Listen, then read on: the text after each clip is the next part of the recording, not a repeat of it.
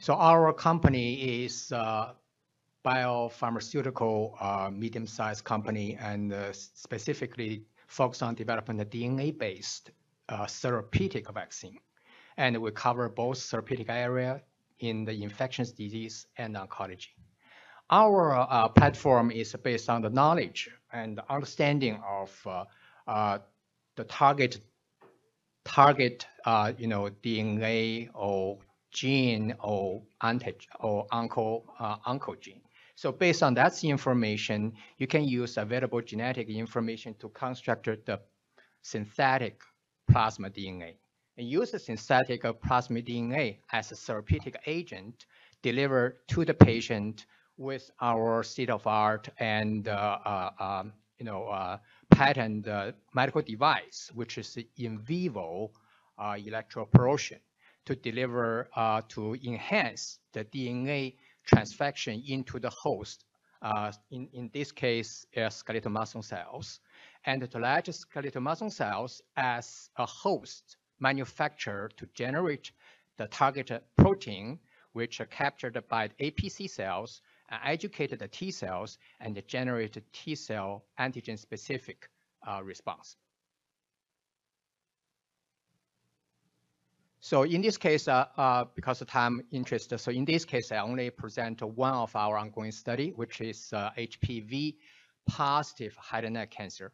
This is a phase one open label study uh, at a single center at, uh, conducted by uh, at the University of Pennsylvania so far. It's a total sample size 25. So far, we already have we already treated 20 patients. So it's interim analysis data.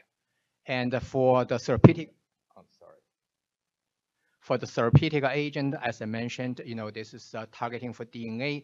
In this case, we have uh, the combination of plasmid DNA encoding for HPV 16 and HPV 18, and both cover E6, E, E7 uh, uh, uh, proteins, and with uh, um, molecular adjuvant of interleukin 12 to stimulate T cells.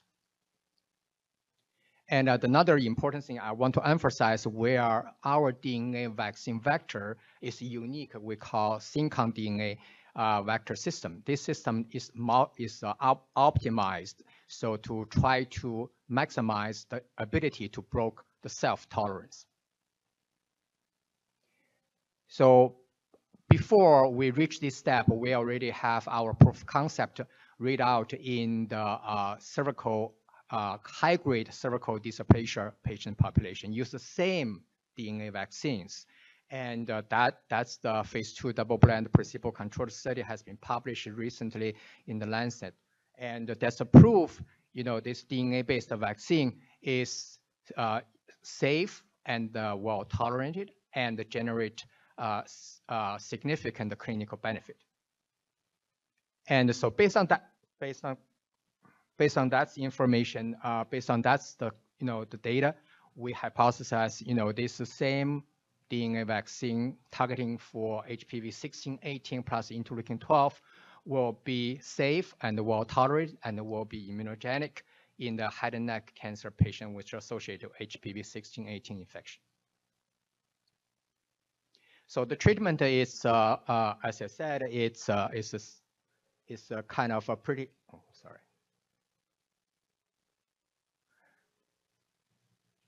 So the treatment is is like this way. So so this is the um, the proof of concept study I just mentioned, I just will quickly brief to give you some idea what we talk about the proof of concept. So this is uh, the phase two double-blind placebo-controlled study in 165 patient multi-center global study.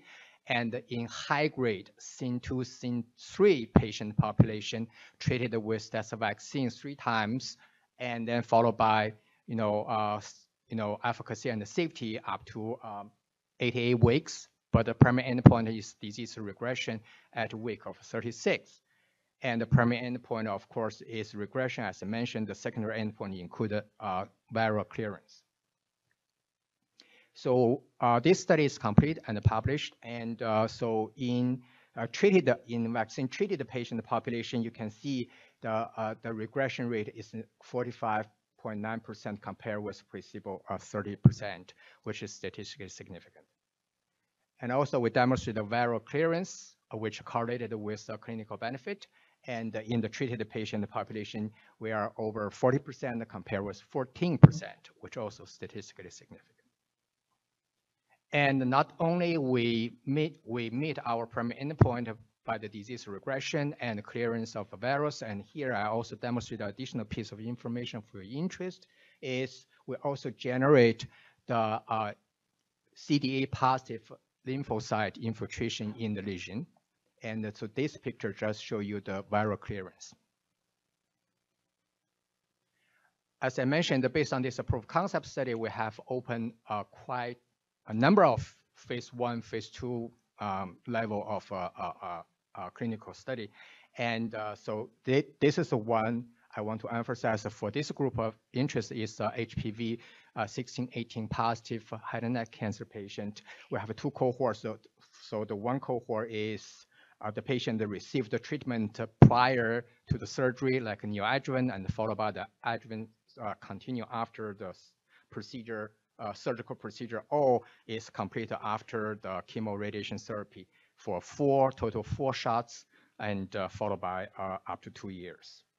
The primary endpoint is safety tolerability. We also have immunogenicity and the primary, uh, preliminary clinical benefit. So this is a patient uh, key uh, criteria and not nothing really uh, special. And we have, as I mentioned, we have 20 patients so far completed treatment. we consider this as interim analysis. And then 20 patients, you can see the median age is 57, the ma majority are, are male, and, uh, and the Caucasian patient, and the smoker is about 60%, and the seven, 65% uh, uh, in the tonsil location and the rest in the in the town. And so the primary safety, it's uh, it's uh, pretty uh, you know um, within our you know previously established profile, and, and so we we don't have a grade three and above study treatment related adverse events. We do have you know grade three adverse events which is not study treatment related like anorexia, fatigue, and acute kidney injury. We do have two unrelated SAE, which due to the hospitalization. One is acute kidney injury, just I mentioned, and also post-procedure hemorrhage. And all patients are, are recovered fully and continue on the study. So this is a the safety table. So nothing really, you know, uh, uh, you know, I want to point out heavily, but only here you want to, see, you want to see most of them at high is of grade one and only have, uh, you know, few patients at grade two and no grade four and five. So this the table continue. And we demonstrated a robust uh, uh, immune uh, response in this patient, but we have 10 patient sample analyzed from this 20. So this is a 10 patient sample. And we demonstrated that the antigen specific, I'm sorry, antigen specific, you know, um, cellular response, which uh, assessed by the interferon gamma ELISpots. You see the peak response, and that's the baseline. And also that's, uh, I said, uh, antigen specific, so that's different the rate. The previous one is rate, uh, you know, P, uh, uh, you know, E7, um, E6, E7. So this is the rate, rate for the whole, whole, uh, you know, both the combination of E6, E7, or the whole products. And also we show there's the, you know, specific antibody production against, you know, the antigen. So this is the the, for the uh, for the uh, 16 and 18. So the summary of the result, you know, these uh, products we call INOS 3112 is generally safe and well tolerated, can, can generate immunogenicity and in the both cellular, in cellular level and, and in the uh, and the protein and uh, uh, antibody. So we conclude, you know, 3112 DNA-based immunotherapy can be safely, you know, generate can be safely used in the head and neck patient population, can generate, you know, Im, uh, immunity. So I want to quote, you know, Dr. Cohen's uh, uh, statement. We should think about uh, beyond the PD-1 and PD-L1. So this is one option I want to introduce. Of course, I want to thank our patient and patient family and our collaborator of investigator at the University of Pennsylvania and, and our sponsor team. So thank you for your attention. So we'll do questions, uh, at this time, any questions? Or Dr. Bank, you want to, any questions? For him, I, I do have one. Do you know with your uh, uh, CIN 2.3, that study, have you seen persistent uh, control? Um, because, you know, again, it looks like you got that immune infiltrate.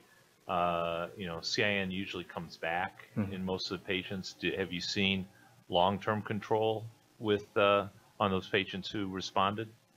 Right. So uh, I so now the study already published in the the, the Lancet, but uh, we're just uh, at the stage of uh, you know database close, which will have the week 88 at the week 88 uh, you know cut off. But uh, you know uh, from my previous you know from my current information, which I learned, it's the the treatment remain the same, the, the, the outcome remain the same, and also we already demonstrated and published, um, you know, a year ago, and our treatment after four shots of uh, vaccine, the antigen-specific immunity can last at least one and a half year or two years. So during this period of time, we're not expecting any, uh, you know, decreation or, or, or, or, you know, taper off of the immunogenicity. So assuming um, the duration uh, of, of the treatment remain. Thank you. Any other questions? All right, thank you, Dr.